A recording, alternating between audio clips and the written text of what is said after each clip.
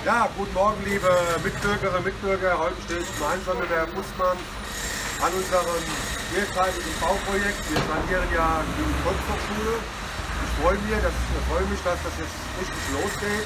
Das Jahr 2023 ist noch jung, aber wir sind ja schon seit längerem dabei mit den Planungen, mit den Absprachen, mit den Gewerken, dass wir hier jetzt knapp 2,6 Millionen äh, investieren und auch sanieren wollen.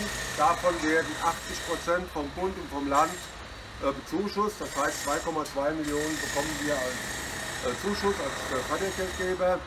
Und da freue ich mich, dass das jetzt richtig losgeht. Ich weiß, dass momentan die Arbeiten innen drin entkernt werden, wie das auch manchmal so ist bei einem Altbau. Ich habe gerade eben gehört, die Decke musste auch wieder komplett ausgenommen werden. Aber vielleicht äh, sagen Sie doch, wie der Plan oder wie das jetzt weiter. Also im Moment sind wir tatsächlich gerade in Rohbauarbeiten im Aufzug. Wie man hinter uns schön sehen kann, schreitet ja auch fortwährend hier ordentlich voran. Innen drin sind wir am Entfernen. Wir haben natürlich bei dem Altbau entsprechend belastetes Material gefunden aus der Zeit bedingt, das spezial entsorgt werden musste. Da sind einige Mehrkosten für die Stadt entstanden, die wir aber ganz gut im Rahmen halten konnten, auch durch entsprechende Vorsorge und Nachsorge.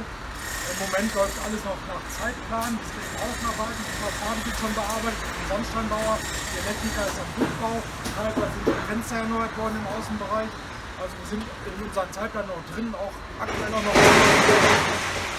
Also ich freue mich, dass äh, die Volkshochschule sich jetzt dann in einem Jahr, der zwei Jahre neu präsentiert. Momentan ist ja die Geschäftsstelle im Molleracke-Gelände und äh, am vergangenen Freitag wurde ja die Semester eröffnet.